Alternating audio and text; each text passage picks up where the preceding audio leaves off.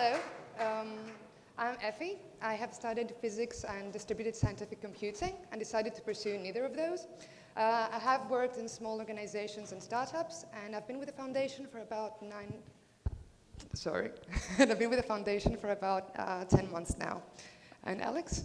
Uh, hello, everyone. Uh, my name is Alexandros Kosiaris, and I am an SRE at the Wikimedia Foundation for about five, six years now. Uh, and uh, instead of talking about me, let's actually do a question here. Which of you actually types wikipedia.org, ELN, or whatever other language? You actually do. You don't go through Google. That's not what our stats tell us. Back at you. Um, so, um, this is one of the very popular uh, interview questions that uh, we do, but many organizations do, where the interviewee is supposed to answer what happens when they type a website from the client side. And today we're going to talk about what happens on the server side, and specifically on our server side. Um, this idea came while Alex was onboarding me, and I was thinking that I could listen to those things even if I wasn't getting paid for it. So, um, and the structure of this talk is as follows. Uh, we're going to first say a few introductory things about uh, our team, about the foundation, about Wikipedia, and then we're going to uh, describe our infrastructure starting from uh, the inside out. So we're going to talk about the application layer, storage, databases. Uh, then we're going to continue with uh, approaching this from the outside in. From the outside in, so how you hit our production systems. And finally, we're going to um, discuss a few miscellaneous things, like how we manage to manage. And we have anything else? That's all. So uh, all information we have here is simplified because our goal is to present something that is understandable without the complex uh, details. So, did you know that uh, the Wikipedia, the Wikipedia infrastructure is run by the Wikimedia Foundation, which is uh, a non-profit organization in the United States. We are about 350 people around the world. Five of us are in Athens, well, four. And uh, we have no affiliation with WikiLeaks. And if you find this funny, we don't. Um, all content is managed by volunteers, by our editors.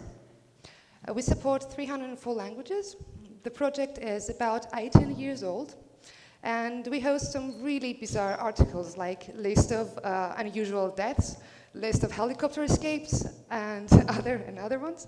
But unfortunately, those articles, along with million others, uh, can't be read in Turkey and China, which means that about 1.5 billion people don't have access to Wikipedia. Apart from Wikipedia, the Wikimedia Foundation is hosting other projects um, like Wikiquote, uh, Wikiversity, Wikinews, uh, Wikidata, which is uh, run by Wikimedia Deutschland, and others which I suggest you check out.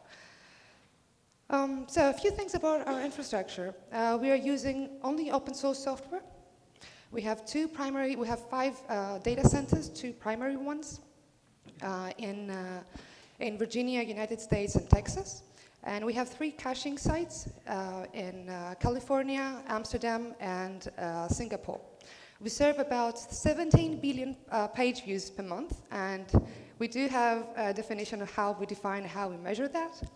We have 300,000 new editors every month, and all those things run in about 1,300 uh, bare metal servers.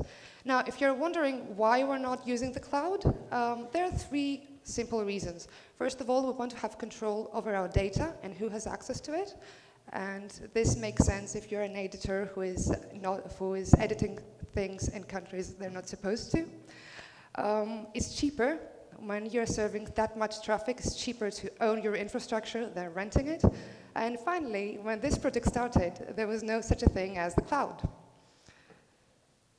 Um, uh, with the site reliability engineer, uh, engineering team is uh, we are 26 people and we're responsible for uh, the development and maintaining of our production systems. We are divided into five sub-teams. Uh, the data center operations team, uh, the people who physically take care of our servers. the data persistence team, also known, also known as the database administrators, who are something like unicorns these days. the infrastructure foundations team, they are mending all our tools like configuration management, logging, monitoring, uh, service operations team, where me and Alex belong to. We do services like MediaWiki and Kubernetes. And finally, uh, traffic our traffic team deals with our networking, edges, and caches. And over to Alex. So let's start by describing our application layer. Now remember the topic, the structure of the talk is from the inside out. So the main application that we have is MediaWiki. It's our core application and it's been around uh, for quite a lot of years. Uh, Wikipedia is already, as uh, we said, 18 years old. We are currently working on an 18-year-old software, although it has gone a couple of rewrites already. Uh, and it's PHP, Apache plus MySQL, yes. And uh, it's again our big, big hammer. Uh, in fact, it has been used to solve problems that today there are way better software for that. Uh, but it's powering up our, all of our wiki pages. Whenever you visit uh, Wikipedia via your desktop browser, you're always, always gonna, at the end, interact with it. Uh, we have clusters for this software. Again, as I said, we use it as a hammer for everything. So we have our API app servers cluster, which is when you actually view a, a page. We also have an API cluster, which is when gets used when you interact with Wikipedia in a number of ways. For example, we have a visual editor, which is what you see is what you get editor. At the end, your browser is going to interact with this API cluster. And of course, as I said, Hammer, third time that I say that, we have a job runners slash video scalers cluster because we use MediaWiki for image. And we used to use MediaWiki for image scaling, but we currently use it for video scaling. That is when a volunteer, an editor, uploads a video. It needs to be transcoded into various others, uh, resolutions and codecs. Yes, it's MediaWiki that does that, although that's not particularly great. Uh, so, how does this, all of this work? Like, uh, how it is possible uh, that this thing actually works with all the traffic that it needs to serve? So uh, you can see there in the middle circle, we have MediaWiki, and uh, all around them, there are caches. All of those caches are used to literally unburden MediaWiki of having to deal with your request guys. That's what all of those caches do. So we have in the uh, Apache software, we have the op, then the, the, PHP software, we have the op cache and the APC cache. Those are caches that go around and cache the various operations in code that need to happen. Uh, and then we have two other sets of caches, a Redis, uh, a clustered Redis uh, with replication, which uh, we're storing sessions on. And in order to be able to address this in a highly available way, we use a software that, well, we wrote in Nutcracker. It's also known as Twemproxy. It's our software written by Twitter, and it resides on every single server and has connect, opens connections to all of the various Redises. It uses consistent hashing algorithm and does load balancing in order to allow for one Redis server to go down and still maintain availability of the service. Same thing goes for Memcached and mcrouter, which is a different software. It's written by Facebook. And then we have this specialized thing at the top right and the bottom right of the slide, which is a parser cache. And finally enough, this thing is in MySQL. What this thing is, is when we have articles that are uh, need to be reparsed, regenerated, we keep uh, an intermediate form of the parsed thing in MySQL in a key value store so that it is easily uh, reparsed, let's say, although it's only intermediately parsed in order to generate the final page. And uh, as already said, we had this MediaWiki thing doing everything, and we realized at some point that's not really tenable anymore. So back in 2014, uh, the very first microservice showed up. It was uh, called, it is called Parsoid, still exists. And as a service, uh, it does just one thing. It parses from Wikitext, which is our markup language. If you've never seen it, think a bit like a variant of Markdown, although Markdown greatly predates, uh, Wikitext greatly predates Markdown. Uh, and it does, and Parsoid does Wikitext to HTML and vice versa processing. And fast forward to 2018, and that word cloud there has all the various little software that is there and does various stuff. And uh, so why do we actually do this uh, transition? Aside from uh, the obvious problem of using MediaWiki as a hammer for everything and treating all our problems as nails, we also had other issues. Uh, we have problems with elasticity, as I already said. An editor may upload a video and it needs to be transcoded into all the various other codecs and resolutions. But the thing is, an editor uploading a video is fine. When an editor shows up and decides to upload 1,000 videos or 10,000 videos, things are starting to get a little bit more difficult. And then when, that's when we find out our video scaler cluster uh, being brought to its knees and you know things lag. It's not like we have an outage or something, but things lag there. Uh, also, we are doing this migration to adopt all the various uh, improvements that have happened in this industry in the last uh, years. Uh, one of them is that allows us to avoid hardware faults. Uh, we are, again, very bare metal, and hardware faults used to bite us. Things are getting a little bit better these days. And the other thing that we're also getting from this uh, adoption of new platforms, uh, like Kubernetes, which I'm going to talk about later, is that we make deployments easier. Guess what? We have our own deployment tooling, one that is called SCAP, and we build in-house, and we use it, and of course, it has its own set of problems. And at the end of the day, our mission is not really to write deployment tooling. So if we can adopt uh, what the industry has to offer, it's way better. And guess what? The migration is not easy and it's ongoing for at least two years now.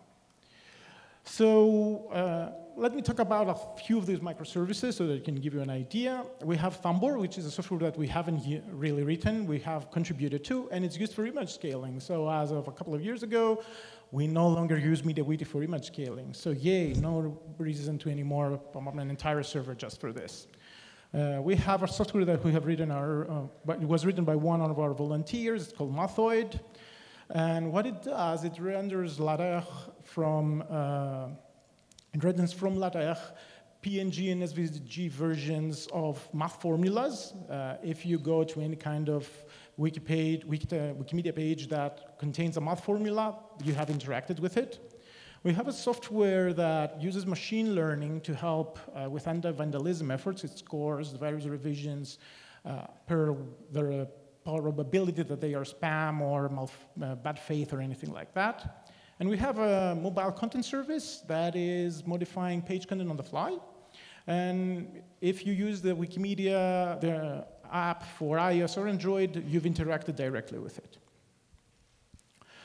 So, as I already said about microservices, uh, the thing about them is you need to have a platform. Uh, up to now, we did not have a really good platform for that, so we're adopting the current uh, industry standard, which is Kubernetes. Uh, but we are not moving too much away from our uh, roots, so it's bare metal, it's not on the cloud. Uh, that means that we had to go around and set up the clusters all ourselves. We have two clusters currently, uh, two that are production, one per data center, and we're growing them uh, as we see fit. And we have one staging one in order to be able to test the various software that gets released there. It's still little, relatively small, uh, relatively little numbers of software that we have there. It, if I remember correctly, it's like nine different services up there at this point. And uh, we're improving. We already are bound to deploy two more this quarter and another two next quarter. And yes, the mathematical formulas I was talking about, they are powered by this platform. Uh, we are uh, using Helm, again, industry standard for deployments powered by, um, on and on top of it, we have a Helmfile for that. We will be having Helmfile for that. And we're using Calico as a CNI plugin because it's the thing that we realized fits best our model. And, uh, well, the container runtime engine is, of course, uh, Docker. Because what else? Although there are some developments in this area. Let's move on to our message queuing. Yes, we do need message queuing for a number of reasons. Let's actually see which uh, those reasons are. But before that, let me talk about what we use as a message queuing software. Uh, it's Apache Kafka. Uh, it was originally uh, started as an analytics-only thing. That is, we have a team that's called Analytics, and it does various, it, it hosts a data lake that allows us to do various statistics on our uh, viewers and editors.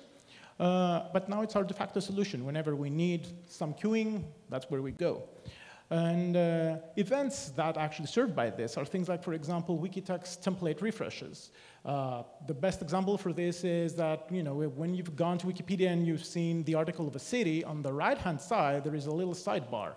That sidebar is actually a template and stored in a different Wikitext page, not in, uh, the actual page that you're viewing. So when somebody goes around and adds, say, one more uh, line in, in this specific sidebar, population, all of the pages need to be re-rendered for you to be able to see them.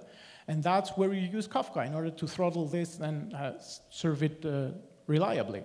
We also need to purge our edge caches, which are uh, very important in all of this. Uh, we have things like cross-wiki links. For example, you might be linking from uh, English Wikipedia to Wikidata and back forth. That's actually a pattern that sees more and more adoption every day.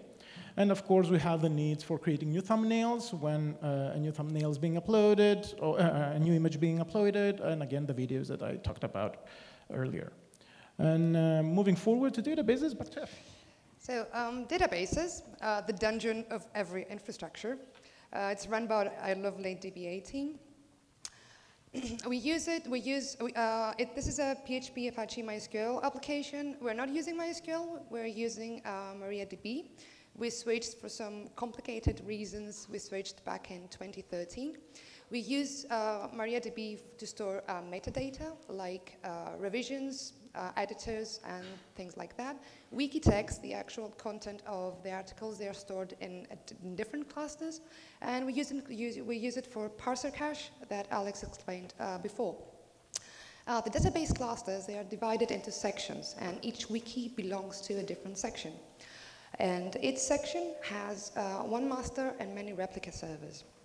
Uh, Wiki, MediaWiki, it is uh, configured so to read uh, from, the from the replicas and write only to the master of each section. Um, I hope that this uh, tree is going to make things a little bit more understandable. Um, we do online schema migrations, which means that we start, when we have to alter tables, we start from uh, the slaves, and sometimes it might take weeks for a migration to finish. We do uh, cross uh, data center um, replication.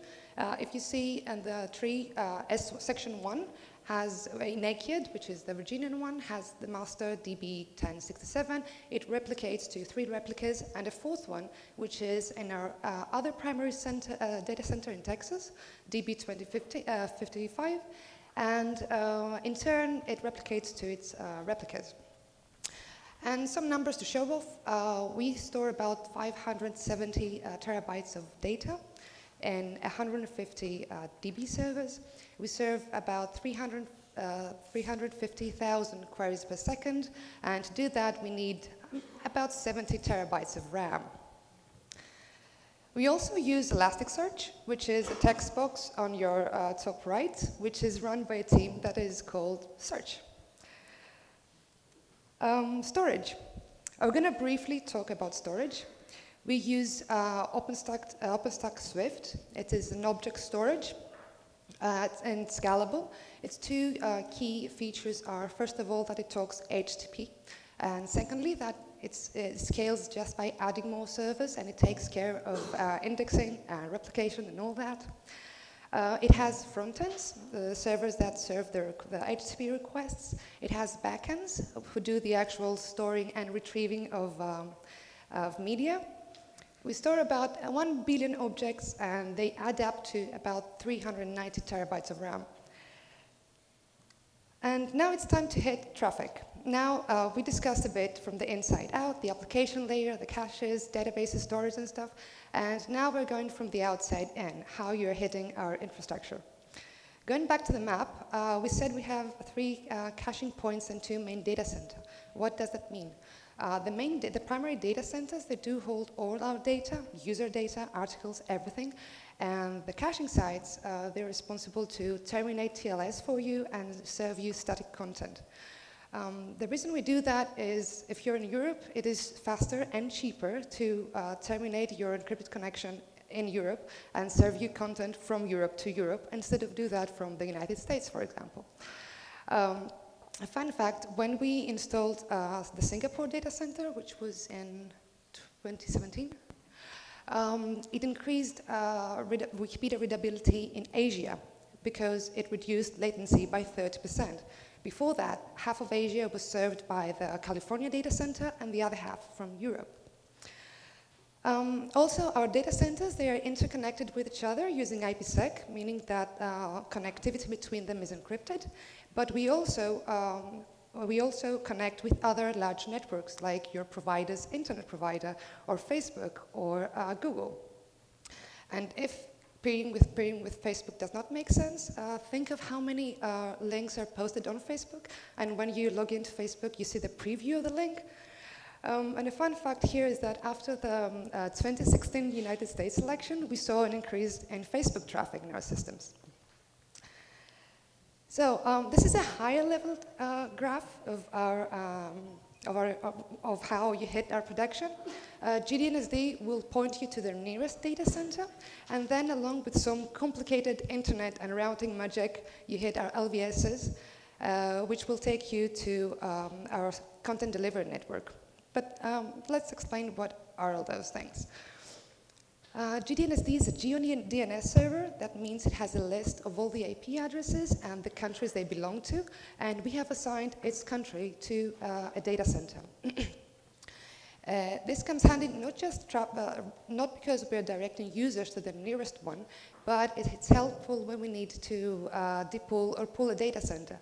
Uh, for example, if we're having issues in our Amsterdam data center, with the help of GDNSD, we can, within 10 minutes, route all the Europe traffic to the United States. Um, LVS is, uh, stands for the Linux Virtual Server. It is a layer 3 and layer 4 uh, load balancing, uh, balancing solutions for Linux. Um, you may have not heard it before, but you have used it because it's like 90% sure that your cloud providers are using it as well for load balancing. Um, and lastly, we have our own content management, content delivery network, our CDN, which looks like this a bit. So think of it as an onion that has different layers. The first layer is Nginx minus, and then is varnish frontend and varnish backend. And we're going to explain what those are. Uh, Nginx minus is a highly performant HTTP web proxy, and it's excellent for TLS termination. In other words, uh, this is where we encrypt your connect the, the connectivity between uh, our production and your computer.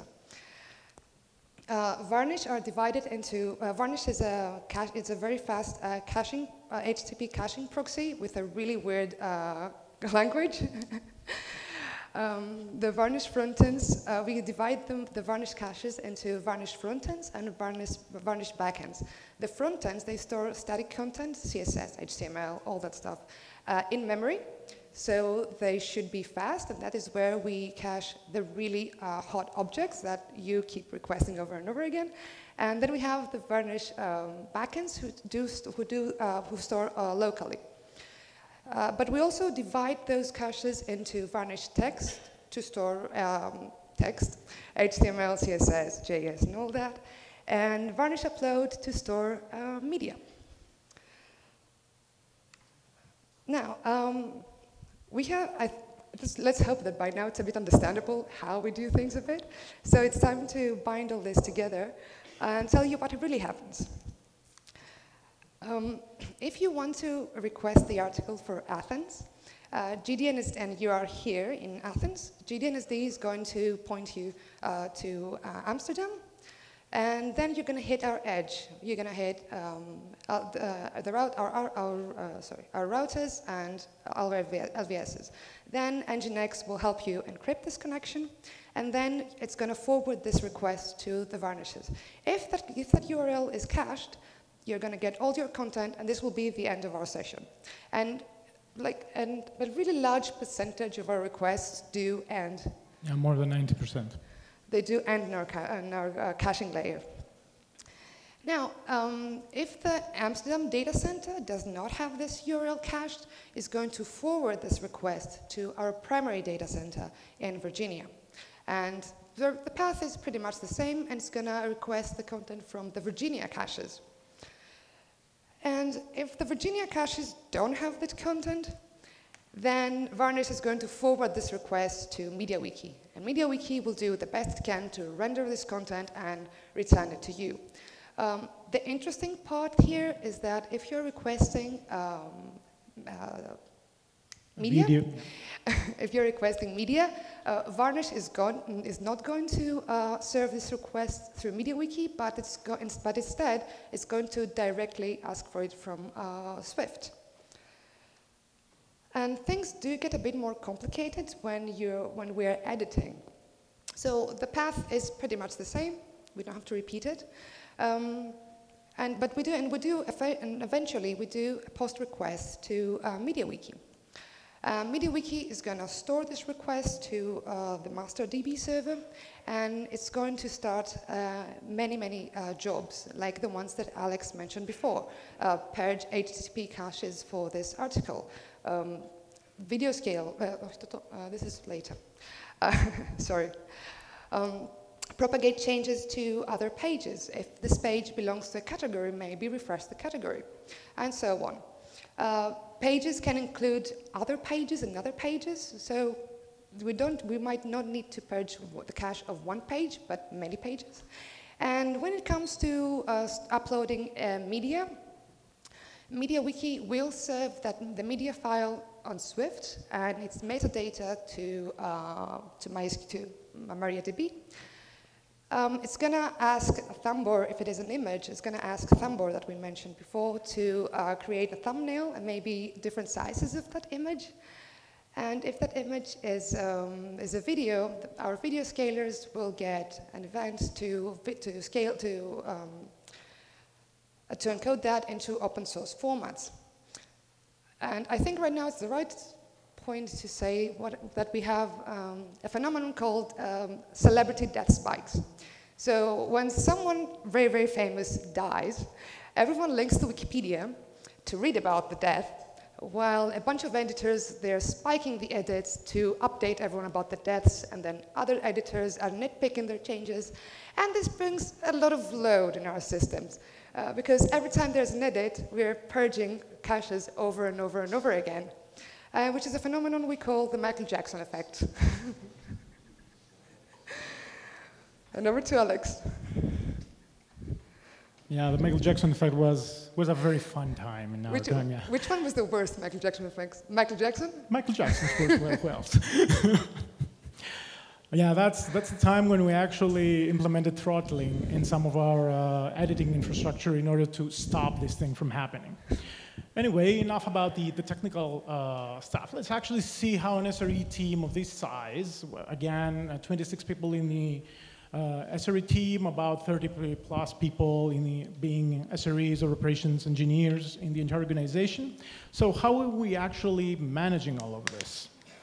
And uh, for starters, we are very much about DevOps or Ops Dev or Sec DevOps, Ops Dev Sec. Or sysadmin? or we don't say that anymore.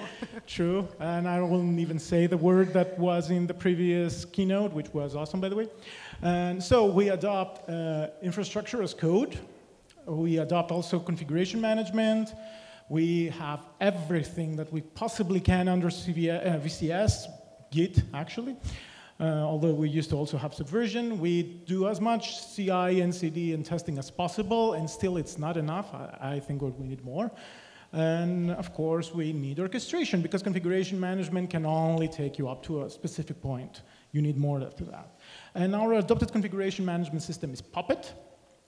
And uh, we've adopted it since very early on, version 0.24 or 25, if I remember correctly, about 10 years ago, maybe even more.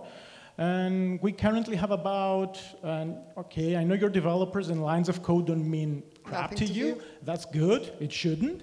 But to give you a ballpark an idea of how much, uh, how big is our code base, we have around 50K lines of Puppet code. Not of all of this is actually written by us, but the majority is. We also do import uh, a few Puppet modules uh, from Puppet Forge. And we have around 100 key lines of Ruby and ERB. ERB is embedded Ruby is the way uh, Puppet actually allows you to render templates.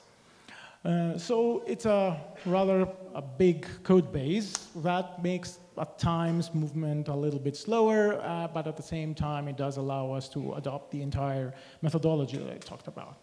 And then since Puppet can only get you as far as a specific point, We also have gone around and evaluated various orchestration uh, and automation tools. None really fit our needs, so we sat down and wrote uh, our own. It's called Cumin. And uh, it is in Python, it's developed in-house, and it has allowed us to uh, basically go around and execute remotely commands on a selected set of hosts. Its power is basically being able to select hosts on a, on a variety of predicates, like take all the job runners, but not the job runners that are in, in Amsterdam, or the job uh, in Virginia, sorry, and vice versa. And uh, that's about it as far as the SREs go, uh, technically. But what's also interesting is how do we cope with all of this socially? And uh, let me point out that we are a very globally distributed team. Uh, all 26 people are in various countries in the world. And yes, time zone and scheduling meeting is a pain.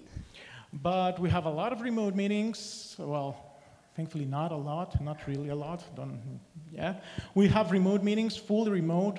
Actually, half of the organization plus is that's a stat that's continually increasing is remote. So we try to adopt a remote first uh, stance. Uh, we use Google Hangouts, Google Meet, Google whatever it is these days. Which is, you know, open yeah, source. whatever name it has. We, we actually evaluated open source tools. They are not there yet.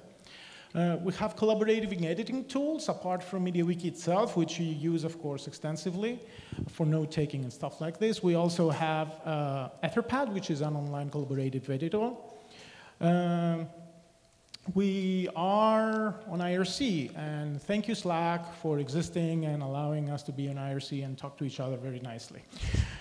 And uh, our code is in uh, Gerrit, and we do a lot of code reviews, and we have to go around and uh, actually get a code review from a teammate before, or the person that is responsible for the code that we're changing, because we have the ability to change anyone's code as long as we get a plus one from them or uh, plus two from somebody else who is responsible for that. Now, that's not something that always happens, unfortunately, but we try to uh, stick to it as much as possible. So we also do code reviews, so if we're to break Wikipedia, we do it collectively and not just one person at a time. um, takeaways. Um, what we want you to remember from uh, today is not just how our requests flow through our systems, but that it is possible to run the fifth uh, highest traffic website, well, depends on the year, It depends on the year and which benchmark you're using. Alexa at times puts us at top five, top six, top seven. And, and depends if China is blocking us or not. Um, it is possible to run a website like this running op using open source software and, not, and without having an army of engineers maintaining it, but only 26 and a few more in other teams. It is hard sometimes, uh, it is painful sometimes, but it works. And the other things we want, want, to remember is that all the tools we mentioned here, they do, they do make sense in smaller environments. You don't have to be a super large, large website to need Varnish, or to need uh, content, a small content delivery network somewhere else, or to need LVS. And a friendly message from our sponsors, we are hiring. Uh, keep checking in for, uh, for new job postings. Um, our fiscal year ends in a couple of months, so there will be new jobs posted there uh, after that. And thank you very much.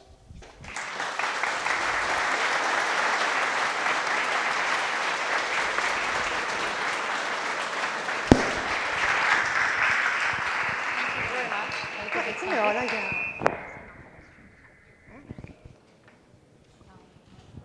And do we have questions for our awesome speakers? Hello. Did you actively try to avoid any kind of restrictions in countries like China or Sorry, Turkey? I, I didn't hear you.